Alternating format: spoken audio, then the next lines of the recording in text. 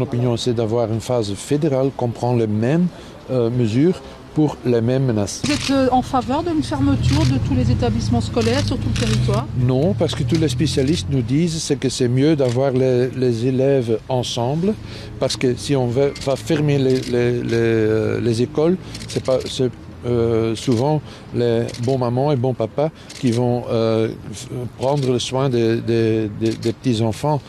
Et là, ça c'est juste le, le, le, groupe cible, donc je pense que c'est pas c'est pas très très intelligent de le faire. Alors c'est vrai que ce serait plus facile de prendre et de fermer, euh, je veux dire les écoles, mais aussi pour des raisons sanitaires, il y a peut-être de bonnes raisons de ne pas les fermer. C'est ce qu'on va entendre aujourd'hui. Moi simplement, je dis après, il faut assumer collectivement, je veux dire les mesures. On parle beaucoup d'union nationale, et bien une crise comme celle-là mérite vraiment l'union nationale et pas avant ou après le Conseil national de la sécurité des choses qu'on n'assume pas par après.